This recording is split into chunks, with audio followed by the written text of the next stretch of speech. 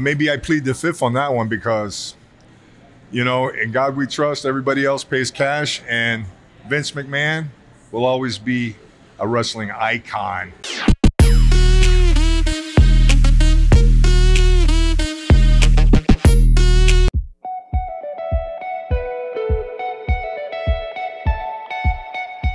it. Just nod your head when we're on.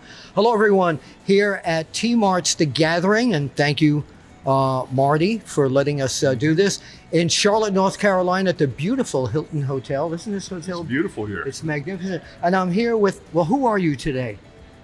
Fred Ottman? you know, I'm like I'm like that that woman, you know, that has like 57 different personalities. and 57 boyfriends. You know, oh, not me, not No, me. no, no, no. I know that. guy. I know I work I for know a certain that. company, but I- you know, I won't go there. I know. I- But uh, yeah, I'm Tugboat Typhoon, the Shockmaster, the BA Double D Big Steel Man, and whoever you want me to be. well, today I'm talking to Fred Ottman. That's it. All right. So what I want to know, there's been a, a really a, a lot of things happening in the world of pro wrestling that have shaken the world up. Vince Oh. McMahon retiring. Did you ever think, no matter what the circumstances are, did you ever think that was going to happen? Uh, maybe I plead the fifth on that one because, you know, in God we trust, everybody else pays cash, and Vince McMahon will always be a wrestling icon. Whether you hate him or you love him, he is the man. What did he do for uh, for your career? What did he do for my career? He gave me an opportunity, like he's given everybody else an opportunity to do something that we all love. Hopefully, everybody loves to do it.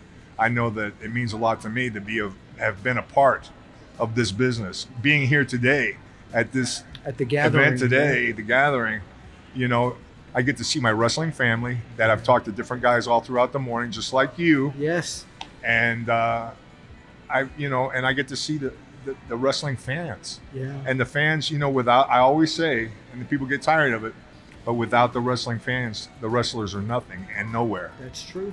Now, also another historical moment happened recently. Yes, Ric Flair woo, wrestled his final match. Your reaction to that? God bless him. Yeah. You know, and there's a lot of scuttlebutt and a lot of talk about his match and about the event. But you know what? I'd like to see anybody out there that's got a bad word to say about that legendary man. And he is legendary. On top of being the greatest wrestler there's ever been, okay, the greatest promo Oh, yeah. guy in the business. Okay, he can turn the tables in any conversation on his opponent and make him look like a fool. You know, engaging in a battle of wits with Ric, not a Im- good impossible. thing. Yeah. Lick your wounds. yeah. Yeah. Yeah. What are tell everybody what you're doing these days? I'm doing a lot of this type stuff, and Right. and uh, I'm working on a little project for the last six or eight months uh, with um, a guy named Avi Klein. That's a writer for Lionsgate Films. Oh, Okay, and he's I've got, heard of them by the way. Yes, Yeah. I, I've seen one or two of their things, maybe.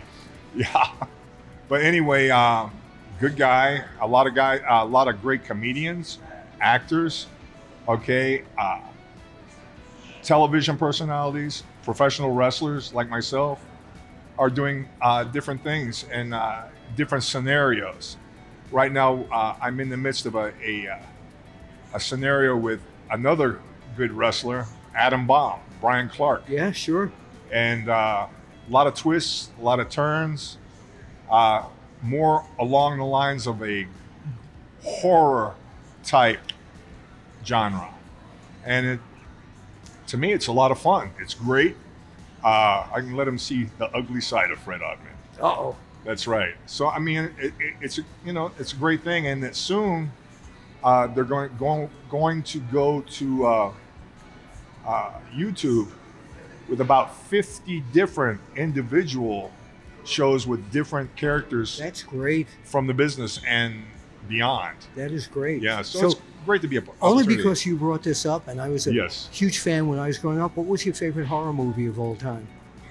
Got to be Abbott and Costello meet, Meet the Frank- Wolf Man, meet Frankenstein, And, and, the invisible, Dracula, and the Invisible, Invisible Man, at the end. That was the finish. Yeah. Yes. Yeah. Yes. Yeah. So when whenever I talk to Jerry Lawler, Yes. He's a big horror movie fan, as I am. Yes. And he always asks me to do this one thing. yes.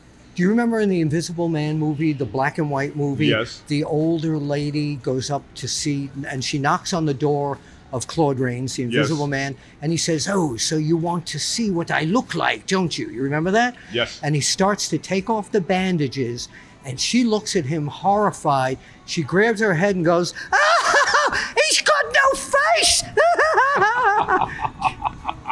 I needed a way to. Do you remember that? Classic. Yes. You remember I that? am showing my age. Okay. No, no, that's okay, Pete. You can Yes. watch it on. Uh, Even in reruns, you, I'm showing my you, age. you can you can download it. It's, Oh, my it's, uh, God. but yeah, that would. But Abbott and Costello meet Frankenstein. Yes. The quote from Lou Costello when he saw the Invisible Man. Do you remember the quote?